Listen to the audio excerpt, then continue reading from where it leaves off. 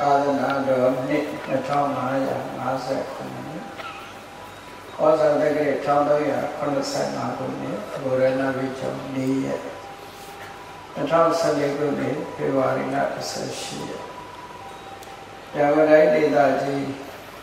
ဘုဒ္ဓထောင်မြို့နယ်ဘုဒ္ဓထောင်စီတို့ချေရင်ပြင်ဓမ္မနန္ဒ၌ဘုဒ္ဓထောင်စီရီတော်သံဃုဥ္စာ ဒီလောကမှာအောင်မဟာမုနိဖယာဘုရားပုဇရိယပွဲတော်နဲ့စံရင်း၍ဘုရားဝန္တာရခိတအသိမှဆင်းကျင်းပပြုလုပ်အပ်သည့်ဓမ္မသဘင်အခမ်းအနား၌နှစ်ဖက်မိဘဘောဝများအားရှိရှိ၍တော်ရှိတံမိသားစုအမတဒါနဓမ္မဒါနအဖြစ်ဖြင့်ဟောကြားအပ်တော် လောကသားတို့အတွက်မြတ်ဝရဤကျိုးပန်းချက်အပိုင်း39တရားဒေသနာတော်ဒီနေ့ညတပတ်သဘင်ခန္ဓာကိုရှေဘုန်းတော်သခင်ရှင်တော်မြတ်ဖျားဤမဟာကရုဏာကုံကိုအာယုပြုတာတိကျုဖွဲ့ဆိုအပ်သော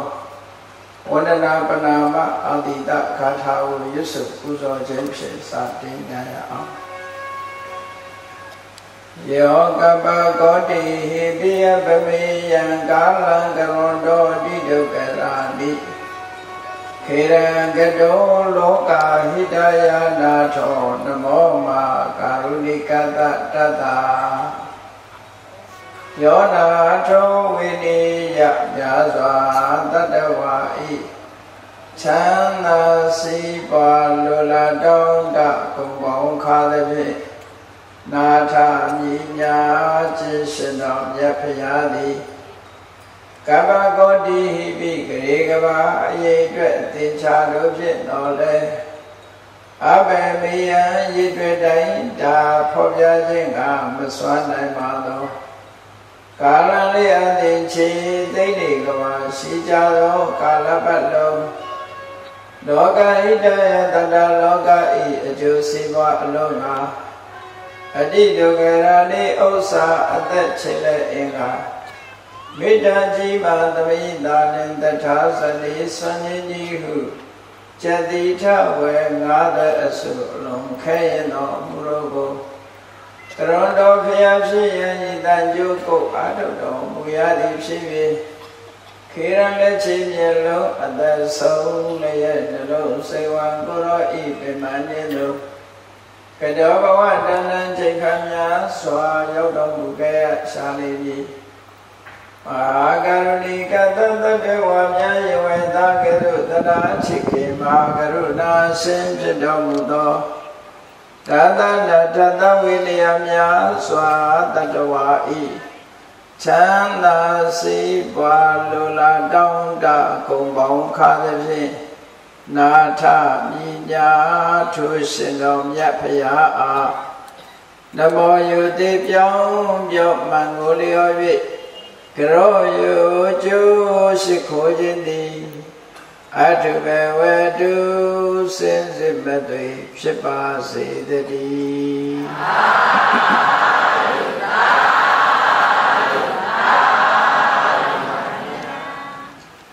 လောကသားတို့အတွက်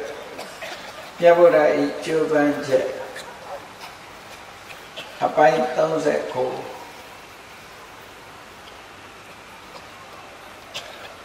်ဘုရားသခင်ကိုရောမြတ်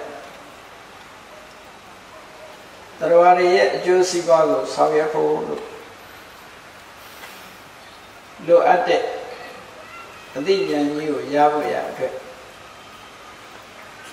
သက်စွန့်ကြိုးစားပြီး မိမိကိုယ်တိုင်အမှန်တရားကိုရှာဖွေခဲ့အလုံးသိကြတဲ့အတိုင်းပဲ6နှစ်ပတ်လုံးဒုက္ခရစရိယအကျင့်ကိုကျင့်ပြီးတော့မှတော်ရရဲ့အကျိုးစီးပွားကိုဆောင်ရွက်နိုင်စွမ်းရှိတဲ့ထူးခြားတဲ့အသိပညာတစ်ခုကိုရထူးခြားတဲ့အသိပညာတစ်ခုပညာမရှိဘဲနဲ့အများအကျိုး တည်ဖို့ဖို့ဆိုတာလုံးဝမဖြစ်နိုင်ဒါကြောင့်မို့လောကသားတွေရဲ့အကျိုးစီးပွားကိုဆောင်ရွက်ဖို့လို့ဆိုတဲ့နေရာအကျဉ်းတရားနဲ့ပညာတရားဒီတစ်ခုဟာအရေးပါဆုံးသောအရာများပဲဖြစ်တယ်အဲ့ဒီအကျဉ်းတရားနဲ့ပညာတရားဆိုတာရရှိဖို့အတွက် အခြေခံကိုချင်းတရားတွေကအစသိခံခြင်းဇွဲကောင်းခြင်းအခက်အခဲတွေကိုကျော်လွှားနိုင်ခြင်းစိတ်နှလုံးတုန်လှုပ်ချောင်းချမရှိပဲကြန့်ခိုင်တဲ့စိတ်ဓာတ်ရှိခြင်းဆိုတာဒီအတ္တမအရေးကြီးတာများကျုပ်လုပ်တဲ့အခါရှော့ရှော့ရှူရှူအလွယ်ကူ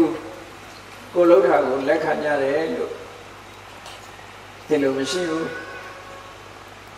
လောကလူသားအများနဲ့ဆက်ဆံရတဲ့အခါမှာတုံ့ပြန်မှုတွေဟာအကောင်းနဲ့တုံ့ပြန်တာရှိတယ်အဆိုးနဲ့တုံ့ပြန်တာရှိတယ်လိုလားသူရှိတယ်မလိုလားသူရှိမလိုလားသူတို့ရဲ့အပြစ်ပြောမှုစัจ jin ဘက်လုံးမှုအန္တရာယ်ပြည့်မှုဆိုတာလေလောကမှာဘာသာရေးသမိုင်းမှာလည်းဒါမျိုးတွေရှိ ဘာသာတရားတစ်ခုကိုဟောပြောတယ်ဆိုတဲ့နေရာအလုံးကကျင့်တတ်စွာလက်ခံတာမဟုတ်ဘူးတုတ်ပြန်မှုတွေအများကြီးလာဘာသာတရားကိုဟောပြောတဲ့ပုဂ္ဂိုလ်တူပါတုတ်ပြန်လာတာတွေကိုလက်တည်ရှုခြင်းသိခံခြင်းမိမိလုပ်ရမယ့်အလုပ်ကိုအောင်မြင်အောင်ဇွဲကောင်းကောင်းလုပ်နိုင်ခြင်းဆိုတဲ့အခြေအနေတွေမရှိဘဲနဲ့ဘလို့မှမအောင်မြင်ဘူး အလုံးကထင်ကောင်းထင်ကြလိမ့်မယ်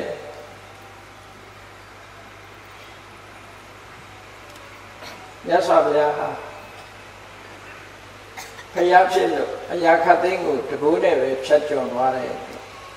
အခက်ခဲတွေကိုအစွမ်းတတ္တိအစွမ်းတကိုးနဲ့ပဲဖြတ်ကျော်တယ်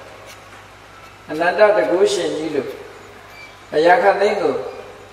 စိတ်တလုံးပိုင်နဲ့ပြည့်စုံနိုင်တဲ့ပုဂ္ဂိုလ်လို့ဒီလိုချိန်ကောင်းထင်ကြလိုက်မဟုတ်ဘူး မြတ်စွာဘုရားရဲ့၄နှစ်45နှစ်တာကာလခက်ခဲပေါင်းမြောက်များစွာကိုဖြတ်ကျော်အောင်ထို့သောဖြတ်ကျော်ရတဲ့အခါမှာစัจ jin ဘက်တွေမျိုးစုံကြုံရတယ်အဲဒီလိုစัจ jin ဘက်တွေကြုံတဲ့အခါသိခံခြင်းခွင့်လွှတ်ခြင်းစိတ်ဓာတ်ခိုင်မာခြင်းဖြစ်လာရင်ဖြတ်ကျော်တယ်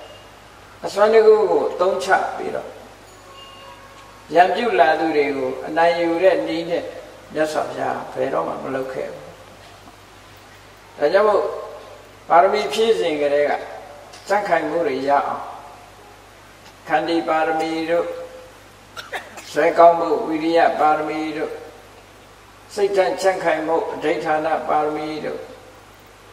အမှန်ဘက်ကနေယက်တည်နိုင်မှုသစ္စာပါရမီတို့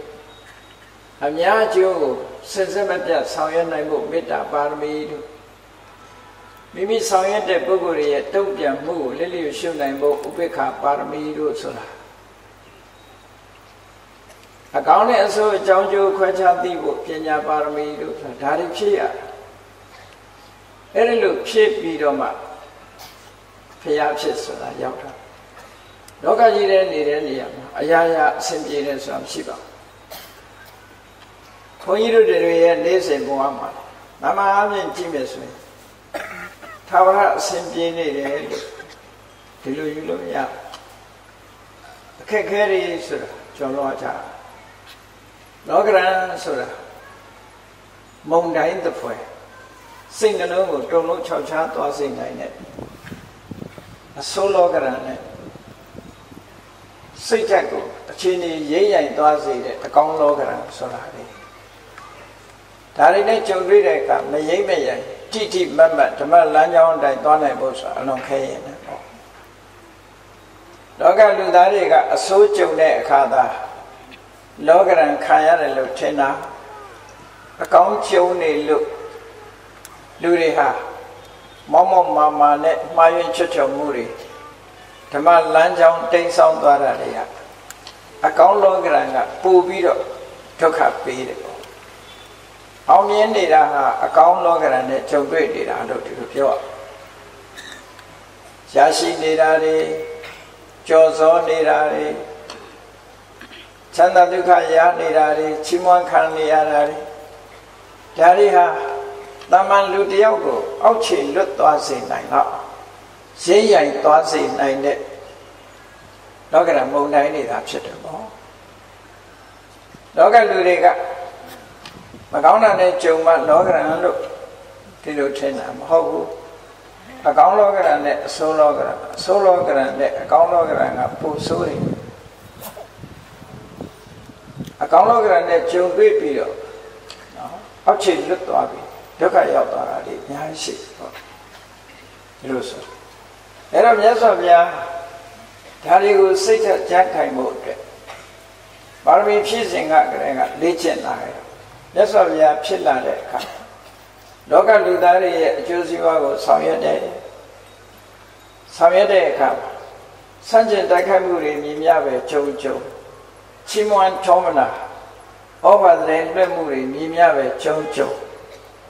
စိတ်နှလုံးဟာရင်းရိုင်တုန်လှုပ်သွားခြင်းမရှိပဲနဲ့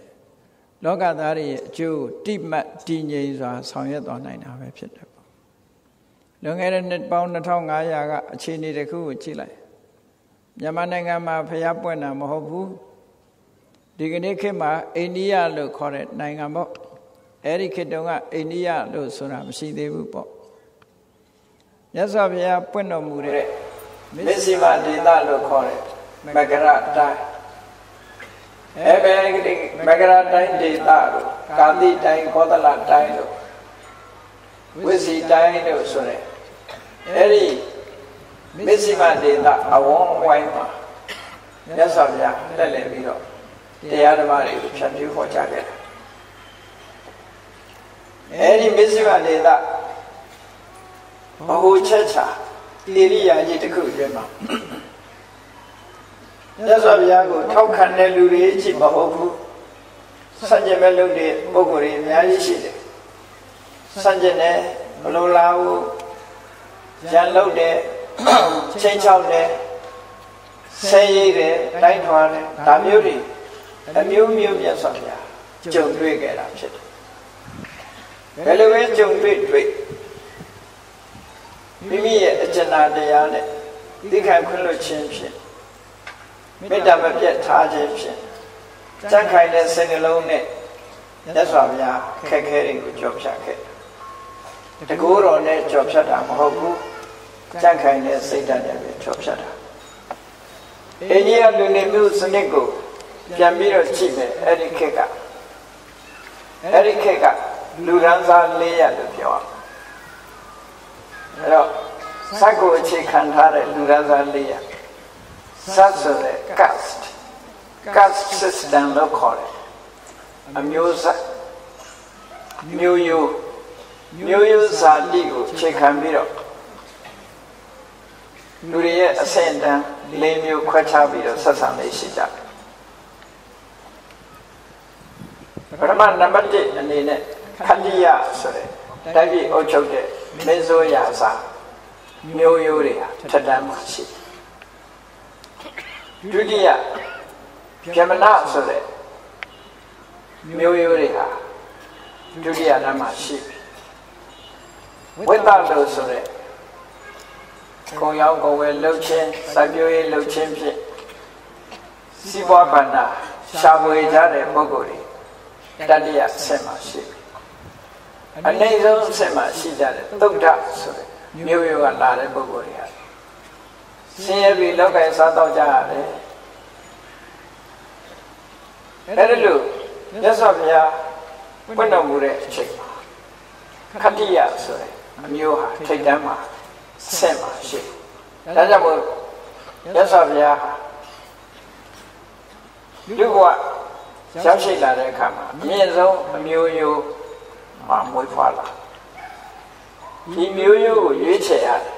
။ဘာဖြစ်လို့ရွေးချယ်ရလဲ။ခက်ခဲတွေကြော်လွှားနိုင်ဖို့အတွက်ဒါအချင်းချင်းကောင်းတစ်ခုပဲ။ခက်ခဲတွေအများကြီးကြုံနိုင်တယ်။စမ်းလိုက်သွားပြီဆိုရင်ဒီတဲ့ခက်ခဲပဲ။အဲ့တော့မြင့်မြတ်တဲ့မျိုးရိုးကို လက်ဆောင်ပြအလောင်းတော်မှာမြင့်မြတ်တဲ့မျိုးရိုးကမွေးဖွားလာ။သို့တော့အန်တုပြီးတော့လောကကြီးတစ်ခုလုံးမှာသူတို့သာနဲ့ဗြဟ္မာမင်းကြီးရဲ့သား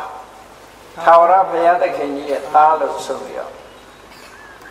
ဝိရာချမ်းကနေကိုသင်ကြားတယ်ပညာတတ်တယ်နတ်ဒီဗြဟ္မာတွေနဲ့ ကောင်းကင်ဘုံနဲ့ဆက်သွယ်လုပ်တဲ့ဆိုရယ်ဗြဟ္မဏမြန်မာတွေကတော့ပုံနာလို့ခေါ်တာပေါ့နော်အဲ့ဒီဗြဟ္မဏဆက်ဝင်ပုဂ္ဂိုလ်တွေဟာသူတို့ရဲ့ပညာကိုအကြောင်းပြုပြီးတော့လေမာမနာအလွန်ကြီးတယ်မျိုးရိုးစာတိကိုအကြောင်းပြုပြီးတော့လေမာမနာတွေလွန်တက်တယ်စာတိပုံညဂုံမာနလို့ဆိုတာမာမနာတွေသိကြီးကြတယ် တော့သိကြီးကြတော့ခန္တီယကိုအခါစားပြုကြရပြီမဲ့လို့ဇမနာတွေကသူတို့မာမနာကိုဘယ်တော့မှမချဘူးမျိုးရိုးစာတိအနေနဲ့သူတို့ကမြက်တယ်။ဒါကြောင့်လဲလို့ဆိုရင်သူတို့သမိုင်းကြောင်းအရာပြောမယ်ဆိုရင်သူတို့မျိုးရိုးဟာတကူရှင်ကောင်းကင်ဘုံကဗြဟ္မာကြီးရဲ့ခံတွင်းကမွေးတာတဲ့ ဗြဟ္မာကြီးရဲ့ခံတွင်းကမွေးတာသူတို့ထက်ကအုပ်ချုပ်နေတဲ့ခတ္တရတွေကဗြဟ္မာမင်းကြီးရဲ့ရှင်ဘက်ကမွေးတာဆိုတော့သူတို့တွေနှိမ့်သွားကစားကအထက်မှာရှိနော်သူတို့တွေနှိမ့်သွားအေးကုံတယ်လေလို့အယောင်းဝယ်လုပ်ပြီးတိုင်းပြည်ဗန္တာရှာပေးတဲ့ပုဂ္ဂိုလ်တွေ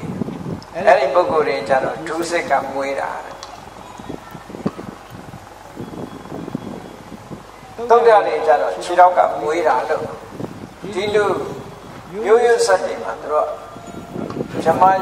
ဗြဟ္မာကြီးကနေပြီးတော့ပုံဖော်ပြီးတော့ဗြဟ္မာကြီးကနေဖန်ဆင်းလိုက်လို့ဖြစ်လာတဲ့လူတွေကိုပုံဖော်လိုက်တာပါသူတို့ကအများဆုံးထိတ်တန့်နေရကိုယူထားတယ်ဒါကြောင့်လောကကြီးကိုဖန်ဆင်းတဲ့ဗြဟ္မာကြီးရဲ့ခံတွင်းကမွေးတာဖြစ်တော့တယ်သူတို့ဟာ ဗြမုံနောအပစ္စံဗြမနောလို့ဆိုတဲ့အတိုင်းဗြဟ္မာမင်းကြီးရဲ့တကယ်သားရင်ဩရတဗြဟ္မာမင်းကြီးကဖန်ဆင်းထားတဲ့ပုဂ္ဂိုလ်တွေဗြဟ္မာမင်းကြီးကိုသူတို့ဘယ်လိုခေါ်တော့ဆိုပိတမဟာအဖိုးလို့ခေါ်တယ်ပိတမဟာအဖိုးအဲ့ဒီလိုတကုရှင်ကြီးရဲ့ သာသမီမြင်းမြစ်တွေဖြစ်သည့်အတွက်ကြောင့်ကဘာကြီးကိုဖန်ဆင်းတဲ့တကုရှင်ကြီးရဲ့သာသမီမြင်းမြစ်တွေဖြစ်သည့်အတွက်ကြောင့်ဘုရားသခင်ရဲ့သားတော်အနေနဲ့အခွင့်အရေးတွေသူတို့အမြဲတမ်းယူထားတယ်အဲ့ဒီပုဂ္ဂိုလ်တွေဟာဗြဟ္မဏအပိုင်းဝိုင်းတွေဟာအမှန်တရားကိုမျက်ကွယ်ပြုပြီးတော့သူတို့မျိုးရိုးသားလည်းအမျက်ဆုံးပဲသူတို့မျိုးရိုးသားလည်းထက်တန့်ကြဆုံးပဲ သူတို့မျိုးရိုးသားလည်းကောင်းရသူတွေဘုံရောက်နိုင်တယ်ကျန်တဲ့ပုဂ္ဂိုလ်တွေဟာကောင်းရသူတွေမရောက်နိုင်ဘူးထက်တန့်ဘယ်တော့မှမရောက်ဘူးလို့ဒီလိုဟောပြောနေရှိကြယုံကြည်ကြမြတ်စွာဘုရားပွင့်လာတဲ့အခါကျဓမ္မလမ်းကြောင်းနဲ့မြတ်စွာဘုရားကဟောလာတယ်ဘယ်သူကမှမငဲ့ဘူးအမှန်တရားတိုင်းပြောတဲ့အခါမှာသံတုဝဏသုတ်တိ ဘယ်လိုပြောတဲ့ဗြဟ္မဏတစ်မျိုးတည်းသာစင်ကြယ်နိုင်တယ်ဆိုတော့မဟုတ်ဘူးကိုယ်ကျတရားကောင်းရင်ကောင်းတဲ့အကျင့်ကျင့်တယ်ကောင်းတဲ့အလုပ်လုပ်လို့ရှိရင်ခန္ဒီယာလည်းစင်ကြယ်မှာပဲဗြဟ္မဏလည်းစင်ကြယ်တာပဲဝိတ္တလည်းစင်ကြယ်တာပဲသုဒ္ဓလည်းစင်ကြယ်တာအဲအဆင့်မျိုးပဲဖြစ်ဖြစ်လူမှန်လို့ရှိရင်တူတူပဲ equality human life ဒီလူသားတွေဟာတူတဲ့တူတူတူပဲလို့ဆိုတယ် အယူဆတရားကိုမြတ်စွာဘုရားစတင်ဟောပြောတယ်အဲ့ဒီမှာမြတ်စွာဘုရားကိုရန်လုပ်ဖို့သူတို့ကြိုးစားတာသူတို့မတူဘူးဆိုတာကိုအဓိကထားပြီးပြောနေတဲ့အချိန်မှာမြတ်စွာဘုရားကအားလုံးဟာ equality တူတူပဲလို့ဟောတာဘယ်လက်ခံနိုင်မှာတော့စဉ်းစားကြည့်ဓမ္မနာတွေကတော်တော်များများနေရာတွေမှာသူတို့ပဲနှောက်မို့အုပ်ချုပ်ထားတယ် ပညာရေးတွေဆိုရင်သူတို့နှောက်မို့အုပ်ချုပ်ထားတယ်ပညာရေးနဲ့အတိုင်းဝိုင်းဆိုဘာဖြစ်လို့လဲဆိုပညာရေးဝေရပညာရေးခေတ်ပေါ့အဲ့ဒီခေတ်ကဝေရပညာရေးတစ်ခုလုံးမင်းကြီးမင်းသားတွေစီတောင်းမင်းကြီးမင်းသားတွေတောင်းသူတို့စီကသင်ရတာလူတွေရဲ့ကြံရင်လက္ခဏာတွေဟောလူတွေရဲ့သဘာဝတွေဟောတာပြောနိုင်တာ အတိတ်ကိုမြင်တာအနာဂတ်ကိုနှံ့ပြောနိုင်တာဆိုတဲ့ပညာရက်တွေဟာသူတို့ပဲသင်ယူနိုင်တာဖြစ်တယ်သူတို့ပဲဒီပညာရက်တွေကိုလက်ဝကြီးပုတ်တာဗေဒဆိုတာဝေဒဆိုတာပညာကိုပြောတာဒါမို့ခုခေတ်ရူပဗေဒတို့ဓာတုဗေဒလို့ခေါ်တာဗေဒဆိုတာဘာသာဆိုင်နဲ့ရေးတဲ့ဗေဒအသိပညာလို့ဆိုလို့တယ်အဲ့ဒီဗေဒဆိုတဲ့ပညာရက်တွေဟာ သူတို့ပဲသင်ယူပြီးတော့သူတို့ကပဲတော်မို့ချုပ်ကင်ထားတာသူတို့ကပညာတတ်လူတန်းစားတွေပေါ့မမနာအလွန်ကြီးတဲ့ရိုးရိုးစကြောင့်လည်းမမနာကြီးတဲ့လက်ရှိဗေဒကျမ်းတွေကိုခုခေတ်ခုခေတ်ပြတဲ့ဝိဇ္ဇာတို့သိပ္ပံတို့နော်အဲ့ဒီပညာရက်တွေအကုန်လုံးအထာရတ38ရတော့အတတ်ပညာသူတို့စီကပဲပညာဒါကြောင့်မို့လို့သူတို့ကဆရာကြီးတွေဖြစ် ဒီတာမမောက်ခါဆိုတယ်ညီညီမင်းသားတွေသူတို့စီတင်ရတာသူတို့တပည့်တွေကြီးပဲဒီဒါကြောင့်လို့သူတို့ရဲ့အစိမ်ဝါလည်းမနမကြီးတယ်စိမ်ဝါကြီးလို့ရသော်ဘုရားနဲ့ကြုံတွေ့တဲ့အခါအမှန်တရားကိုကြိုက်တဲ့ပုဂ္ဂိုလ်ချိုးလောက်တာရသော်ဘုရားရဲ့ဟောပြောချက်ကိုလက်ခံ စက်ကိုရှင်းတဲ့တင်ပြီးတော့ငါတို့ကမှအမျိုးမြတ်တယ်လို့အယူဆရှိတဲ့ဓမ္မနာတွေအမြဲတမ်းမြတ်စွာဘုရားကိုဆန့်ကျင်နေကြလောက်ကြတယ်ဟောဒီနေရာမှာကြည့်မြတ်စွာဘုရားလက်ကူတရားဥဟောတဲ့ချိန်တုန်းကနာယူတဲ့ပစ္စဝဂီတွေဆိုတာဓမ္မနာတွေပဲ ဘာလို့လဲဆိုပညာတတ်တာလေသူတို့ပဲညာပညာတတ်တဲ့အတိုင်းသူတို့ပြင်ဟောအဲနောက်ပိုင်းကြတော့ဓမ္မနာတွေလည်းပါလာတယ်ဝိတ္တတွေလည်းပါလာနောက်ဆုံးသုဒ္ဓတွေပါပါလာတော့စင်တာအလုံးကိုသက်ဆောင်ညာတက်ခတ်တယ်သို့သောဓမ္မနာအတိုင်းဝဲကသက်ဆောင်ညာရဲ့တပြည့်ဖြစ်ခံယူပြီးတော့ဘုရားတာဝကဖြစ်လာတဲ့အခါ သူတို့အတိုင်းဝဲတွေကအခြေတတ်ကြအခြေတတ်ကြ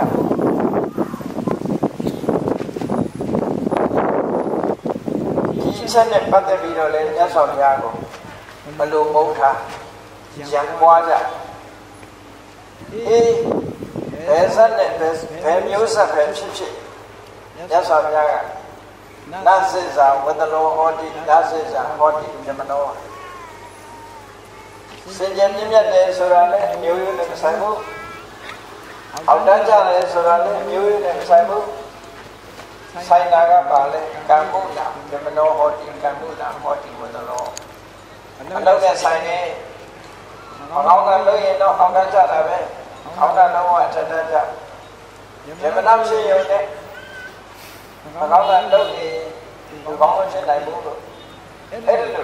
ဖို့ဆိုင်နာကပါလဲကံမှုတာဓမ္မနောဟောတိကံမှုတာဟောတိဝတလောအလုံးနဲ့ဆိုင်နေအကောင်းကလို့ရင်တော့အောက်တန်းကြတာပဲအောက်တန်းတော့အထက်တန်းကြဓမ္မနာရှိရုံနဲ့အကောင်းကလို့ရင်ဘုကောင်းဖြစ်နိုင်ဘူးလို့အဲ့ဒါလို့ဓမ္မလမ်းကြောင်းကိုခြေခံပြီးတော့စက်ကိုညင်းပဲ့တဲ့အယူဆတွေကိုလူလောကကြီးထဲမှာဟောပြောလာတဲ့အခါမှာအလုံးစက်ချင်တာမဟုတ်သေးကြဘူးတို့ကမှလည်းစဉ်းစားဉာဏ်ရှိတဲ့ပုဂ္ဂိုလ်ရှိကြတာဟောစဉ်းစားဉာဏ်ရှိတဲ့အတွက်ကြောင့်ဓမ္မကိုတက်တဲ့ပုဂ္ဂိုလ်တွေကဓမ္မဆိုဒီမှာအမှန်တရားကိုပြောအမှန်တရားလောကမှာ အမှန်တရားဆိုတာကိုချိန်ခံထားတာတက်တဲ့ဉာဏ်လွှဲကြတဲ့ပုဂ္ဂိုလ်အဲ့ဒီလိုပုဂ္ဂိုလ်တွေကသက်သာပြရဲ့အဆုံးအမကိုလက်ခံရတယ်စိုက်ကိုဆွမ်းမြင်မြင်ကိုင်းငါတို့ကသာထထကြတယ်လို့ယူဆနေကြတဲ့ပြမနာအပိုင်းပိုင်းအမှန်တမ်းကြီးတယ်သူတို့ကပညာသင်တာတော့ပါပဲအခုပြည့်တဲ့ချိန်ကြ ဝိရပညာရဲ့ကိုသင်တဲ့အခါမှာ40နဲ့7နှစ်တရား48နှစ်အိန္ဒဝတိဝအခုလူကြီးကြီးဘွားတယ်ဓမ္မစာလေးလို့ခေါ်ဝိရကျမ်းသိတဲ့အခါမှာအိန္ဒဝတိဝအခုကျောင်းသားဘွားနဲ့48နှစ်အဲ့ဒီခေတ်ကတော့48နှစ်ပညာတဲ့ဒီလိုပညာတတ်ပြီဆိုလို့ရှိရင် ဆရာကတော့ကိုပတ်ဆိုင်ရှာရှာတဲ့အခါတထေးတဲ့ကျွဲတွေကသူတို့ပေးဖို့အစနစ်ရှိအဲ့လိုပညာတတ်လာတဲ့ပုဂ္ဂိုလ်ချင်းမြောက်ဖို့အစနစ်ရှိတော့သူတို့ကအိတ်တက်ကလည်းပြီးတော့လက်လက်ပြီးတော့ရက်လိုက်တာနဲ့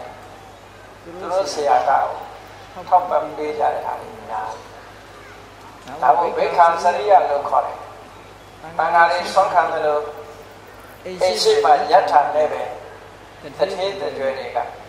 သူတို့လိုအပ်တဲ့ငွေကြေးတနာတွေကိုထောက်ပံ့တယ်။အဲ့ဒီနည်းနဲ့ပဲသူတို့ရှာနိုင်တယ်။လုံးလုံးပြီးတော့ရှာရအောင်သူတို့ကထုံးတာ။ဒီလိုဆိုတာပေါ့။အဲ့ဒါလို့ဆရာရဲ့ဆရာကိုပေးရမယ်အာစရိယဇနာလို့ဆိုတယ်။ဆရာတွေကိုကြောက်ရမယ်ဟာကြောက်ပြီးတဲ့အခါအဲ့ဒီအချိန်မှာနှမျိုးသက်ဆောင်ပတ်ပြတ်သွားတယ်။ချို့ကတော့ မျိုးဆက်ပြတ်ပါဆိုလို့ဆိုပြီးတော့အိမ်အောင်ပြုတ်အိမ်အောင်ပြုတ်တာဟာမျိုးဆက်အတွက်တာပြုတ်တာပြောခြင်းလို့မဟုတ်ဘူးပါခြင်းလို့မဟုတ်ဘူးမျိုးဆက်အတွက်အိမ်အောင်ပြုတ်သာလူတရားများတာနဲ့တော့ထွက်ဒီသေးဖို့ဒီပုဇောတကယ်လို့မတ်တရားနဲ့ချက်ချက်ဒါသူတို့စီမံလုပ်တယ်အတ္တမဒေဝဆိုတာရှိတယ်ရှင်ဟောပြမနာရဲ့အချက်ချက်အတ္တမ ဖြမ္မစာရိကဟထအိမ်တော်ပြုခြင်းတဲ့ပုဂ္ဂိုလ်ကြတော့ကဟထအိမ်တော်ပြုပြီးတဲ့အခါသာမီထောင်းကားပြီးတာလည်းလည်းဝတ္တပဋ္ဌာကြောသွားယသိကိုဘိက္ခုဆောင်အာသူတို့ချက်အဲ့ဒါဒါဆိုဒီဒီချို့ကြတော့ကဟထဆိုတဲ့ line ကိုမရွေးဘူးအိမ်တော်မပြုဘူးဆရာ ပူဇော်ဝယ်အာစရိယပူဇာတွေပြီးပြီးတဲ့နောက်မှာပြန်ပြီးတော့ဝဏ္ဏပဋ္ဌာသင်္ကန်းကြောင်းတွေမှာသွားပြီးတော့ဒီကိုရတယ်ဘုပြီးတော့ပြီးပူဇော်စားတဲ့ချက်တွေကိုချက်တဲ့အခါကျမှသိရတာသူတို့ချက်မှတ်တာအဲ့တော့သူတို့ကမျက်မျက်ဖြစ်စဉ်နဲ့လိုက်ကိုလိုက်တာမှန်တယ်အဲ့ဒီပဲအေးတော့မှနေပြီးတော့နောက်ဆုံးဘိက္ခု ဆိုတယ်ကဲဘုရားဓမ္မစာနာတဲ့ပုဂ္ဂိုလ်ဖြစ်ခိုင်းကြတယ်ဘဝတန်ကြီးကိုရှောင်းလာကြတယ်ဒါကိုအတ္တမအစမလေးပါလို့ပြောလို့ခေါ်တော့တာဒါပြန်လာရဲ့ချက်တယ်အဲ့ဒီမှာဇမနာအများစုကမြတ်စွာဘုရားရဲ့စက္ကုပေတဲ့ဝါဒ သာဓုဝဏတုတ်တိမျိုးမျိုးလေးမျိုးလုံးဟာထက်တန်းရောက်တဲ့ဆိုတဲ့ကောပြောချက်ကြီးကြီးကျယ်စတဲ့ကကြီးကျယ်စတဲ့သို့တော့ဓမ္မလမ်းကြောင်းကိုညှိလို့တဲ့ပုဂ္ဂိုလ်တွေကလက်ခံတာမျိုးရှိတယ်ပေါ့နော်အခုမြန်မာနိုင်ငံပတ်သက်ပြီးတော့ဒီဒီကမတန်တန်နေအများရှိ တယ်ဓမ္မရာတွေနဲ့ပတ်သက်တဲ့ဆက်ဆောင်များပတ်သက်ဆက်ဆောင်များဟောတာတဲ့တုတ်တယ်တော်များအဲဒီမျိုးများများရှိတဲ့တဲ့ကယမနာလေးခုအကြောင်းနဲ့ဆက်ဆောင်များနဲ့ဆက်ဆံဖို့ဒီနေ့ပတ်သားကြတာဆက်ဆောင်များလောင်းသိခံတဲ့လောင်းလောကသားတွေကျိုးကျိုးအတွက်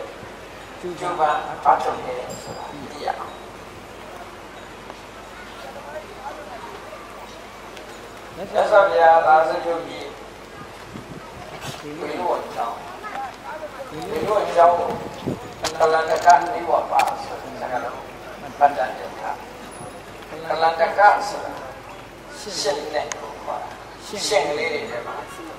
အကြောင်းနဲ့ရှင်းရှင်းတဲ့အဲဒီရှင်းတဲ့တွေကိုသမိုင်းကြောင်းအရာစာကျွေးလာတဲ့တရားက ဘာဖြစ်လို့ရှင်းတဲ့တွေကိုစာကျွေးတယ်လဲဆိုတော့သမိုင်းကြောင်းအရာပြောရမယ်ဆိုရင်ရှင်းတော့ကတဲ့ဘေးဒီတစ်ပါးဟာရက်တင်စားတွေတောက်စားပြီးတော့ပြပြရင်မှာဥယျာဉ်ထွက်ရင်ပေါ့အဲဒီဝိနည်းဥယျာဉ်ထဲမှာပြပြတခုကောင်းဆိုင်ပြီးတော့ဟဲ့စားတယ်တောက်ဆရာလေးနဲ့အဲ့လိုထားတော့တဲ့ကမွေဟောက်ကြီးတကောင်ကထွက်လာ အနတ်နေရလို့ထွက်လာပြီးတော့ဘင်းကြီးနာရောက်တဲ့အချိန်မှာရောက်ခဏီအချိန်မှာတတစ်ပိမောကရှင့်ကမွေဟောက်ကြီးလာတာလည်းမြင်ရောရှင့်လာပြီးတော့ဆူညာဆူညာလောက်တယ်မင်းကြီးလာမင်းကြီးနှိုးအောင်နှိုးတယ်တော့ဟောတာအဲ့ဒီကြတော့မင်းကြီးကနှိုးသွားမင်းကြီးလည်းနှိုးလိုက်တော့မွေဟောက်ကြီးကနောက်ပြန်ဆုတ်သွားအကယ်၍သာရှင့်မအောင်လို့မရင်မနှိုးဘူးဆိုရင်တော့ မင်းကြီးကမွေကြိုက်တာနေချာအဲ့ဒီကမင်းကြီးကကျေးဇူးတင်တယ်ငါလက်ချမ်းသာရတာဟောဒီရှင်းနေကြတယ်ရှင်းရောက်မယ်လို့ဆိုရှင်းတွေကိုနေ့စဉ်နဲ့စာတွေ့တာဒါကြောင့်ကလန်တကပြီးဝပါနာမည်ကိုထည့်ဝိလောဆိုတာကလန်တကပြီးဝပါဒီကတော့ဝဥယျာဉ်ကြီးထဲမှာရှင်းတဲ့တွေကိုစာတွေ့ထားတယ်အဲဒီကမြတ်စွာဘုရားသတင်းတော်ကြီးဒါ လာစီရုံမြို့မှာဒီမနာရညာသာရှိတယ်အဲဒီအချိန်မှာဓမ္မနာတွေကလည်းဓမ္မနာဗတ္တိဆိုတာရှိဗတ္တိဆိုတာဓမ္မနာကိုပဲသူတို့ကလည်းကိုပဲရအာရင်အာရင်ရှိတဲ့ခါဓမ္မနာတွေကိုဖိတ်ဖိတ်ပြီးတော့ပြုခတ်ကြတယ်ဒီလေရရှင်းကြတယ်ပေါ့ ဒီဘူတော်မှုတွေကိုပြုကြတယ်ဓမ္မနာတွေကိုသမီးရွေးတယ်ကုသိုလ်လုပ်ကြတယ်အဲ့ဒီကအာလောကမင်းကြီးတော်ဓမ္မနာဗတ္တဓမ္မနာဗတ္တိဓမ္မနာတွေကိုကိုယ်ပဲသိရတာပထမလည်းမှာနောက်မှဘုရားဗလာပဲကိုပြောင်းပါအဲ့တော့ဒီမှာ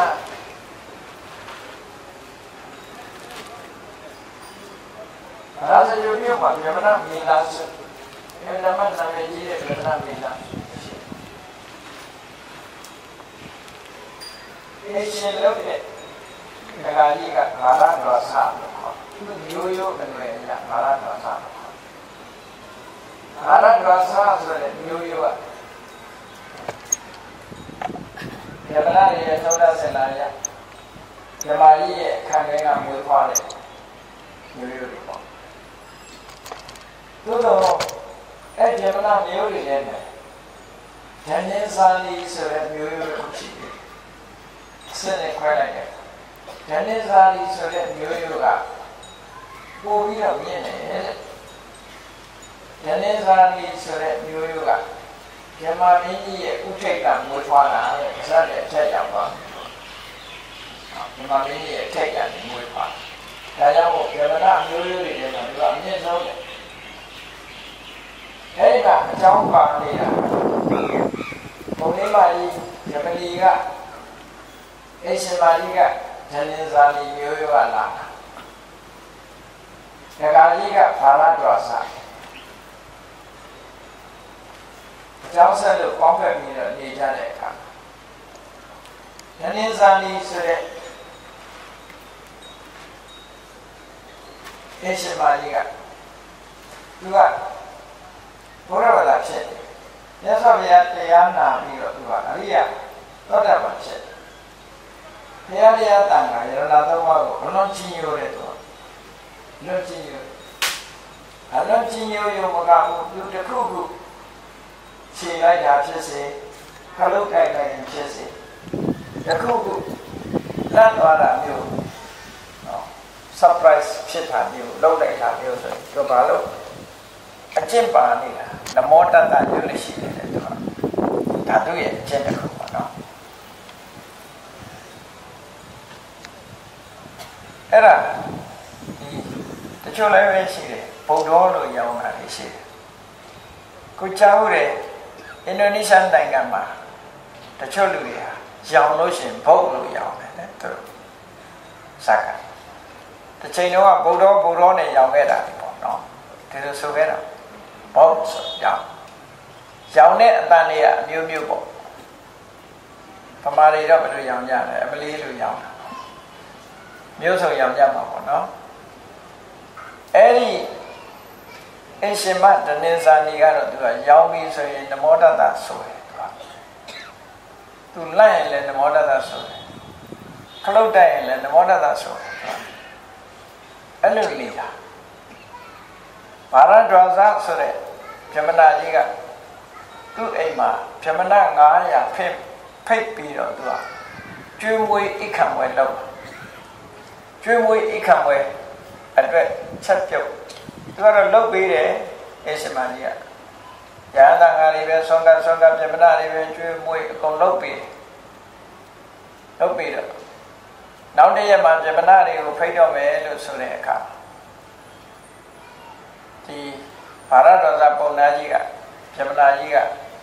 သူအိရှင်မကိုပြောတာသူမင်းနှစ်ဖြင့်ကတည့်ရက်တော့မင်းနမောတတကြီးကိုမဆိုပါနဲ့ဧည့်သည်တွေလာရင်မင်းနမောတတကြီးကိုမဆိုသမ်းပါနဲ့ငါဧည့်သည်တွေလာ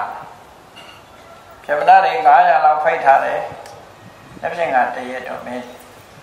နှုတ်ပိတ်ထားစမ်းပါဆိုတော့မပြောတော့ မပိတ်နိုင်ဘူးတဲ့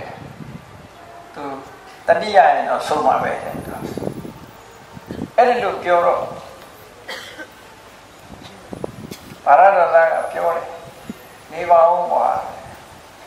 ရွာကြီးတရွာမြို့ကြီးတစ်မြို့တောင်မှတကားပိတ်ရသေးတယ်မင်းရဲ့ပါဇက်ကလက်ကလေးနှလုံးသားလေးရှိတာဒါလေးတော့မင်းတရက်လောက်ပိတ်ပေးပါပိတ်နိုင်ဘူးတဲ့ဟောမပိတ်နိုင်တော့ ပြောမရတဲ့အခါကျပုံနာကြီးဘာရတော်သာစိတ်ကြုံလာပြီးတော့သူတို့မှလည်းအဆောင်ရောက်တလွယ်တွေရှိတယ်အဲ့ဒီတလွယ်ကိုတအိမ်ကနေချွတ်ပြီးတော့အေးလက်ဖြင့်ကမင်းကအမျိုးမျိုးတောင်းပန်ရင်တည်းမရဘူးလက်ဖြင့်ကအကယ်၍မင်းနမောတတကြီးသာဆုံးမယ်ဆိုရင်တော့ငါဒီဓာတ်နဲ့မင်းပိုင်းမယ် တဏ္ဍာနီကမကြောက်ဘူးပိုင်းရင်ပိုင်းသိခံမောနဲ့တတိယရင်တော့ဆုံးပါပဲလုံးဝပြောလို့မရလုံးဝပြောလို့မရတဲ့အခါကျတော့6လို့လည်းမရ6လို့လည်းမရဆိုတော့အေးတော့ပြောမရတာတော့ကဲမင်းလှုပ်ချင်တာလှုပ်တော့ကွာလို့ဆိုဓာတ်ကိုပြစ်ချပြီးတော့အပြင်ထွက်သွားအဲ့ဒါအရင်နေ့ကအဲ့ဒါလိုဖြစ်တာเนาะ နောက်တည့်ဖိတ်ထားတဲ့ပြမနာတွေရောက်လာပြီကျွေးမွေးအခမ်းမှုလုပ်နေပြီသူကလည်းဝိုင်းဝန်းဆောင်ရွက်ပေးတယ်အဲ့ဒါလိုဝိုင်းဝန်းဆောင်ရွက်ပေးတဲ့အခါမတော်တဆခလုတ်တိုက်ပါလေရောအဲ့ဒီနေ့မှာတခါတခါဖြစ်မှဆိုရင်ပိုးဖြစ်တတ်တယ်နော်ခလုတ်လဲတိုက်လိုက်ရောရွတ်လိုက်တာနမောတသဆိုပြီးတော့ကျဲကျဲလောင်း အဲ့ဒီလိုနမောတတလည်းရွတ်လိုက်ရောစားလက်စပြမနာတွေကဟာဘာသာကြားအိမ်တို့ရောက်နေဘာသာကြားအိမ်တို့ရောက်နေမစားနိုင်တော့ဘူးဆိုကုံလုံးဘုံကနေထကုန်ကြတယောက်မှမနေကြတော့ကုံထွက်ခွာသွားကြအဲ့ဒီမှာပုံနာကြီးကအဆက်ကွဲသွားတယ်မာရဒဇဆက်ကွဲသွားတယ်မင်းငါဒီလောက်ပြောထားတဲ့တန်းနဲ့လောက်ရမလား ဘယ်လိုပဲချင်းချောက်ချင်းချောက်ချင်းချောက်လို့မရနောက်ဆုံးကြတော့ဒီလိုပဲထမရဲ့ဒကမာကြီးပြောမရတော့ဒကာကြီးပဲလက်လျှော့နော်လက်လျှော့ပြီးတော့ဒီလောက်ရှိလားငါသူ့ရဲ့အယူဝါဒတွေယဟန်ဂေါရမရဲ့အယူဝါဒတွေငါသွားပြီးတော့ပြစ်တင်မယ်ယဟန်ဂေါရမငါသွားဆုံးပါတယ် မင်းဆုံးမမင်းမနိုင်ဟွာလို့ကြတယ်ကြွက်မနိုင်တော့ကြည်မီးရှို့ဆိုတာသူဇနီးတဲ့ပြောမရတဲ့အခါကျတော့ဘုရားတော်ဒုက္ခပေးဖို့ကြံစီတာစဉ်းစားကြည့်လေရန်ကုန်မှာဒုက္ခပေးမယ်ဆိုဘုရားစီသွားသွားပြီးတော့အောင်ဤပြီးလူကြီးလူကောင်းပြီးပြီးတုတ်တွေပါလေဆက်ဆက်ပြီးတော့မဖြေနိုင်မဲ့မေကုံမျိုး နှစ်စွန်းတွက်မေကုံမျိုးလို့ခေါ်တယ်မေကုံမျိုးပြီးမေးပါမေးလေသူမေးတဲ့မေကုံကနှစ်စွန်းတွက်မေကုံနဲ့သူထဲမှာစိတ်ကူးထားတယ်ဘယ်လိုဖြေရင်ဘယ်လိုပြောမယ်ဘယ်လိုဖြေရင်ဘယ်လိုပြောမယ်ဆိုတာမေကုံသူမေးတာ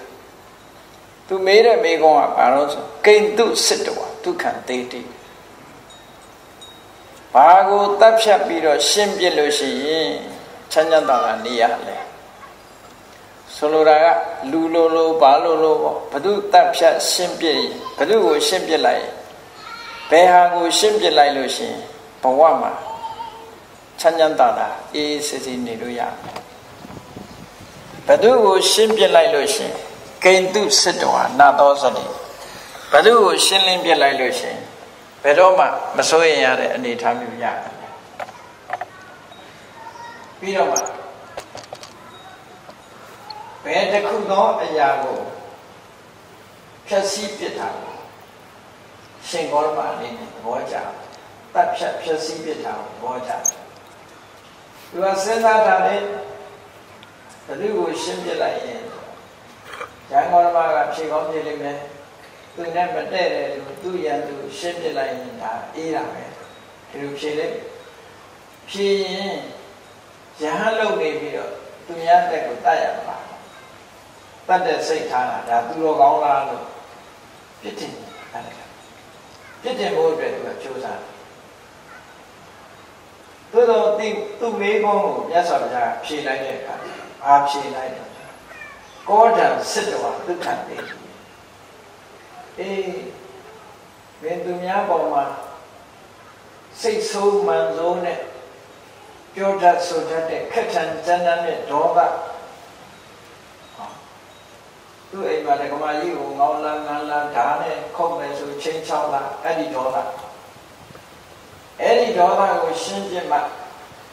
ချမ်းသာဒုက္ခရမယ်ကောဒံစစ်တော်နာတော်စိတ်ကနေရှိဆိုစိတ်ဆိုးတတ်တဲ့အလေးအချက်ဒေါသတရားကိုရှင်းပြနိုင်မှမင်းမစိုးရရမှာဖြစ်တယ်ဒေါသဆိုတာဟာ ကောဓတဝိတမူလတမဓုရကတဖြစ်မနာကောဓဆိုတဲ့ဒီဒေါသတရားခက်ထန်တဲ့ဒေါသတရားခြေကံအားဖြင့်မကောင်းတာမှန်တယ်သို့သောအနိုင်ရလိုက်တာကိုကြည့်လူတွေကသဘောကျစိတ်တူရတာကိုလူတွေကသဘောကျ ဟုတ်တယ်စိတ်ဆိုးရတာကိုသဘောကျကိုယ်စိတ်ဆိုးလို့တစ်ဖက်ကနေရှော့သွားရင်တော့ဟုတ်တာပဲအနိုင်ရလိုက်တဲ့သဘောအဲ့ဒါကိုမဒုရကအပိဓမ္မာတော့ချိုးတယ်ကောင်းတယ်အပြည့်တတ်မှတော့ကောင်းတယ်ဒါပေမဲ့အခြေခံအဖြစ်မကောင်းဘူးကိုကအနိုင်ရလိုက်လို့ရှိရင်ဒီဒေါသအရာရှိစိတ်ဆိုးရတဲ့အရာသာရှိကောင်းရှိ ဘူးကြပါလေစိတ်ဆိုးရတဲ့အရာသာလေအဲ့ဒီစိတ်ဆိုးရတဲ့အရာသာလေအဲ့ဒါလို့အရာသာရှိတယ်အပြည့်တတ်မှအရာသာလေးရှိတယ်ဒေါသဆိုတဲ့လောကဖြစ်စီပြရမယ်အဲ့ဒီဖြစ်စီပြခြင်းကိုလာရင်သူတော်စင်တွေကရှိမှန်းကြတယ်ဒါ ကြောင့်ဩရဆိုတဲ့စိတ်တူခြင်းစိတ်ဆိုးခြင်းခက်ထန်ခြင်းဆိုတဲ့ဒီစိတ်သက်ကြီးကိုဖယ်ရှားပြနိုင်မှလားမဆိုရင်ရမှာဖြစ်တယ်ဆိုရင်ရင်ကင်းပြီးစိတ်လည်းကိစ္စတော့နေနိုင်တာဖြစ်တယ်အဲ့ဆိုဘုရားကအဲ့လိုဖြေလိုက်တဲ့အခါသူ့ကိုတိုက်ရိုက်ထိဟာထိသွားတော့နော်သူကဒေါသနဲ့လာတယ်လို့ အဲ့တော့သူကောင်းရောက်တဲ့ဘုံပဲနဲ့သူ့ကိုတိုက်ရိုက်ထိသွားဖြစ်တယ်စိတ်ကသူရှင်းတတ်တာရှင်းတတ်ပါပြီချက်ချင်းပဲဘောကြလို့ရသော်ဗျာခွင့်တောင်းပြီးချက်ချင်းပဲတောင်းမှမပြန်တော့ဘူးအင်္ဂလိ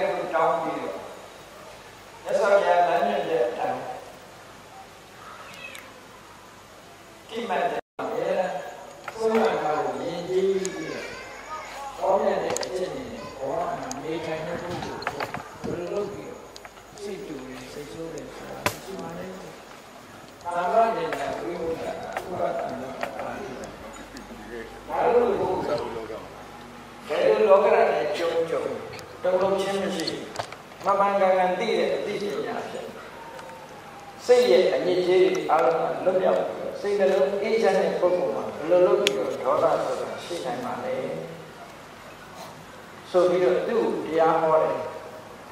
တတ္တိဝတေနပပိယောယောဂုတ်တံတိပုဂ္ဂိုလ်အေးစိတ်ဆိုးတဲ့လူကိုပြန်စိတ်ဆိုးမယ်ဆိုရင်ပထမစိတ်ဆိုးတဲ့ပုဂ္ဂိုလ်တုံ့ပြန်ပြီးစိတ်ဆိုးတဲ့ပုဂ္ဂိုလ်ဟာပထမစတဲ့စိတ်ဆိုးတဲ့ပုဂ္ဂိုလ်ရဲ့ဆိုးတယ်ကုဋ္ဌံအပတိကုဋ္ဌံတော့သင်္ကမ္မစေတိတို့ မိမိပေါ်မှာစိတ်ဆိုးမှန်လို့တဲ့ဖြစ်လာတဲ့ပုဂ္ဂိုလ်ကိုစိတ်ဆိုးခြင်းဖြင့်မတုံ့ပြန်ဘူးဆိုလို့ရှိရင်အောင်ခဲ့တဲ့စစ်ပွဲကြီးတစ်ခုအနိုင်ရလိုက်ခြင်းဖြစ်တယ်စစ်ပွဲကြီးတစ်ခုအနိုင်ရလိုက်တာဒီပဲဥပေနပဋ္ဌစရတိအတ္တနောသကရတ္တသ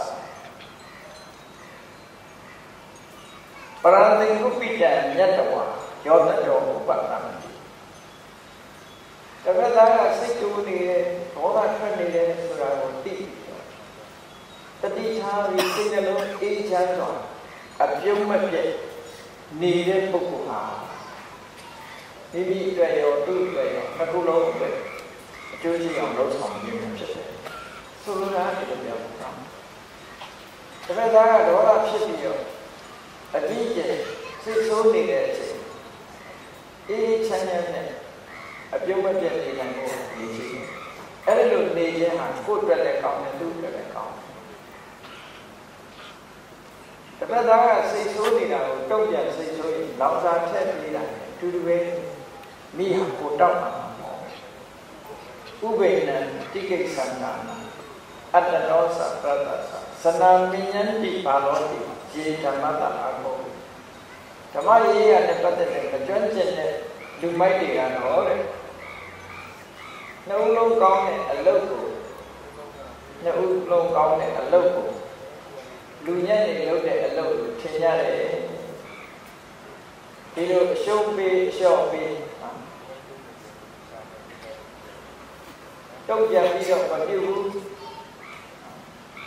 အလျှော့ပေးသိခါနှလုံးအေးတဲ့ဆေးဆိုတာမသိကြဘူးအဲ့ဒါလို့အရှုံးပေးတဲ့ပုဂ္ဂိုလ်လူညံ့လို့ဒီလိုထင်ရတယ် တကယ်ကတော့အဲ့ဒီပုဂ္ဂိုလ်ဟာအမှန်တမ်းကောင်းတဲ့ပုဂ္ဂိုလ်ရသော်ဘုရားကဒီလိုတရားချပြီးတော့ပြောလိုက်တဲ့အခါသူလည်းမာမနာတွေဒေါသတွေပြေးပြီးတော့ရသော်ဘုရားကိုရှိခိုးဝတ်ချပြီး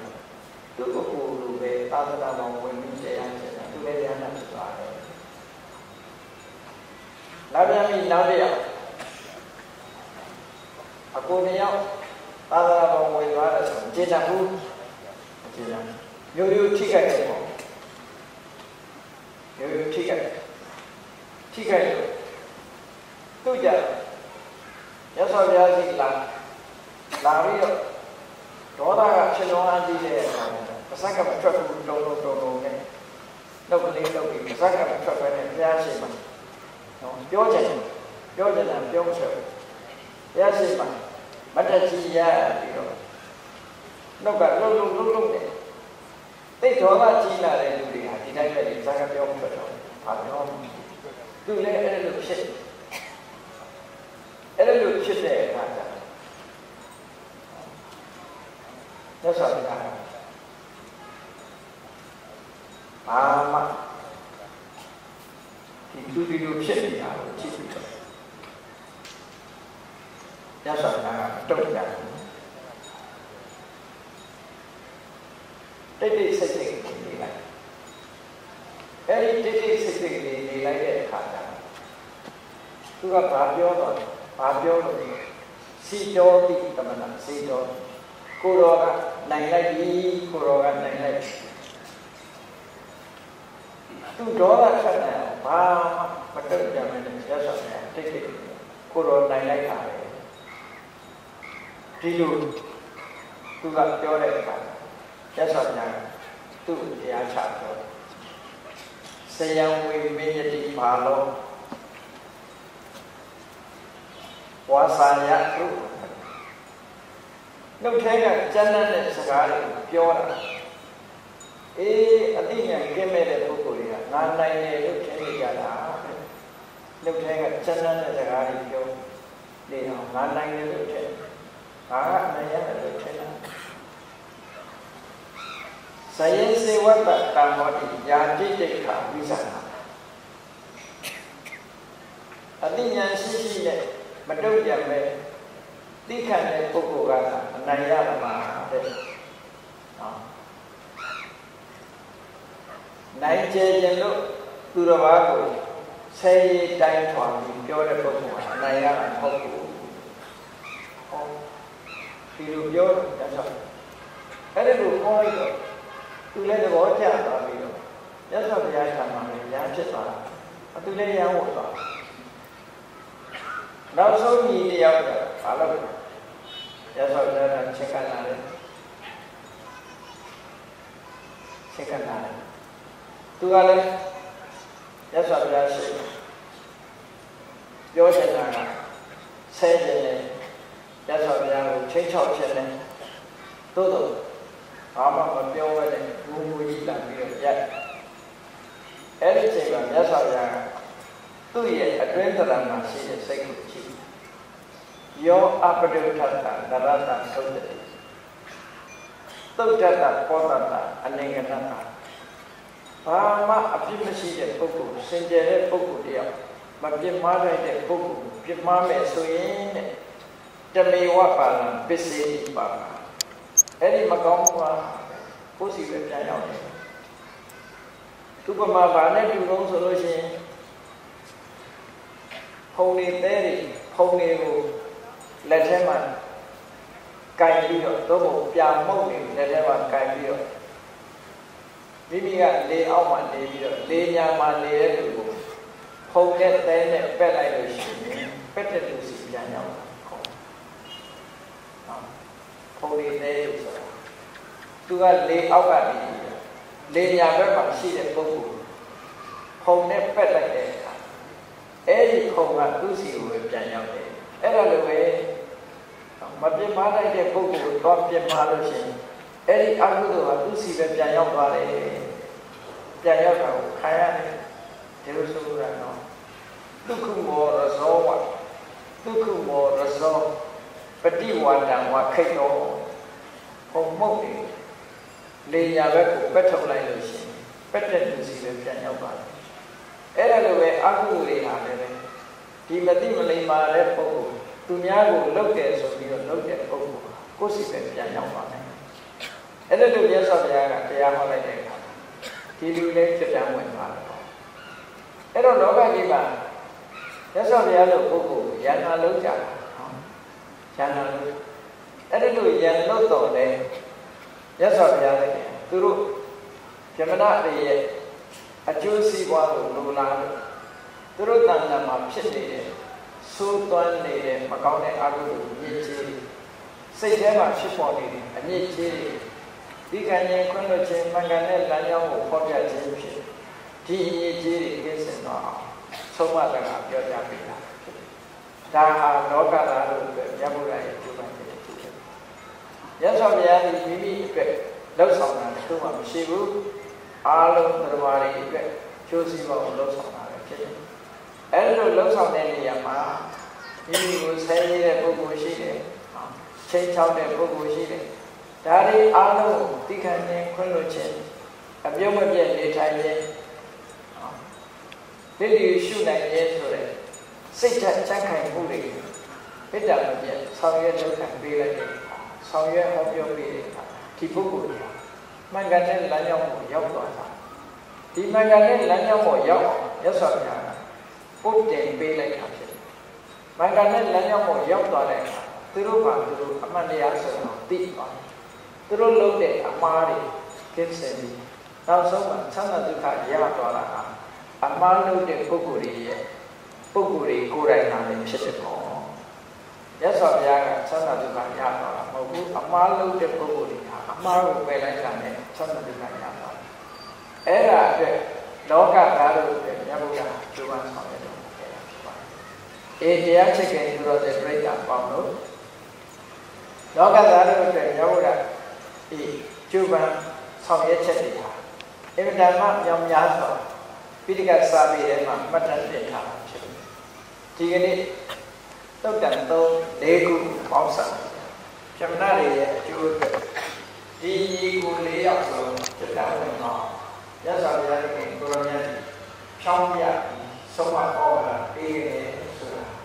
တုတ်တန်ထဲမှာမှတ်တမ်းတင်ထားပြီးတော့ဘုန်းကြီးတို့ဒီသိရှိတာနာပြောကြတာအေးရတဲ့အခါဓမ္မလမ်းကြောင်းတွေမိမိတို့အတွက်အသုံးချပြီးဘဝကြီးကိုရှောင်တဲ့အခါအမှားကြီးမရှိဘူးဓ မ္မလမ်းကြောင်းမှာစောင့်စောင့်နိုင်ဖို့ကြိုးစားအားထုတ်နိုင်ရပါစေ။ဒီမေ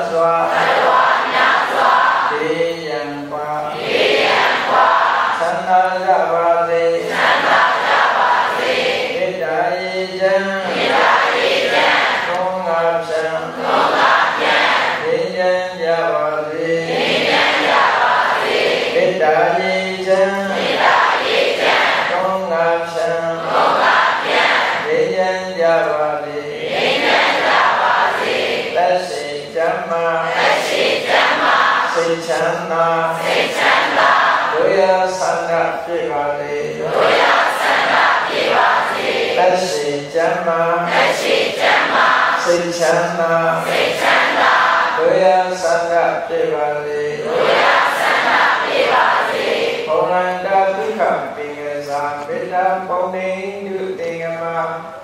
မနောတရာတိတမေတံဘဝယန္တုဒုက္ခတကမေတ္တာပုံနေတုတေငမစုပေါင်းပုအပ်မေတ္တာတဟုရောက်ယူပါဝေငွေလာမင်းနှင့်ရောက်ခြင်းရှိယုံပေါင်းဆောင်ရခြင်းကြောင့် သဗ္ဗေတံပြည့်မဲ့ဥတ္တုံလုံးလုံးများစွာတတ္တဝါတို့၏မနောတရာတိမြတ်ဖြူစင်အေးကြည်လင်းသည့်ရေစင်ပြည့်ခြင်းစိတ်နှလုံးဒီဟုသောရေအိုင်ကြီးအတွင်၌ဒုက္ခဝေဒနာစင်ကြောရအညจิตာတာယာပွင့်လန်းချမ်းသာဒုက္ခဒီဟုသောကုမုဒ္ဒရာကြာရန်တို့သည်ဟောလန္တဝန္တာရှင်ဒီဝမုံလူလေးကြည်ညိုဝဲကျုံပုပ္ပညကောင်းသည်ဖြစ်၍ဒု က္ခနကလေးအောင်လေးတဲ့ရောရှက်တင်ပြပိလိဟုသောယနတို့သည်ဘဝယံတုကောင်းစွာမဲ့ပေကြိုင်နိုင်၍နေကြပါစေကုန်သတည်း